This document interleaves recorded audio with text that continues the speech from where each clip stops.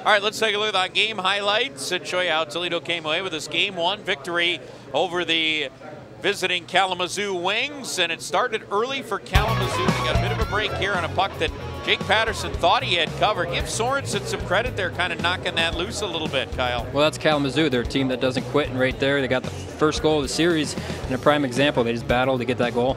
But then Toledo came back. Kyle Bonis, speaking of battling, how about that right in front of the net? Yeah, no panic for Toledo. They're down 1 nothing. Uh, early in the first, they come back, tie it right up. Yeah, they certainly did. Tied at one. Then Kyle Bonis sets up Evan Rankin going to the front of the net. Top shelf with a backhand. Plug up the neutral zone. That's what Coach talked about. They want to get better at that tomorrow. And here was a goal that paid off for, for Rankin.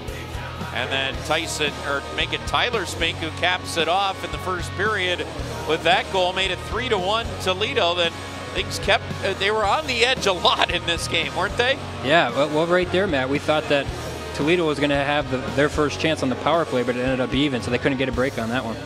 Certainly not. And then Shane Berschbach finding the back of the net. We just saw that one as our ProMedica shot of the game. It was four to one Toledo at that point. They had command. Yeah, well, hold on because Kalamazoo, they're coming right back. Yeah, they certainly did. Jake Paterson trying to cover it again. Boy, that's twice in this game we saw where Jake was so close to getting it covered. Didn't happen. Then they get the goal from Kalamazoo. That one made it a two-goal game. And then here in the third, Vasaturo's shot finds the back of the net. Yeah, nice shot from the point there.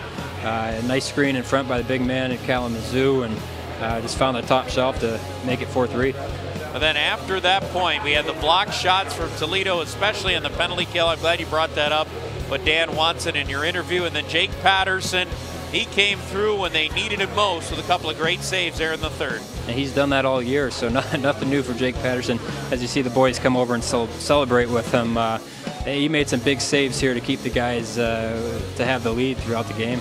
Yeah, and they had the lead all the way through the rest of it. 4-3 the final.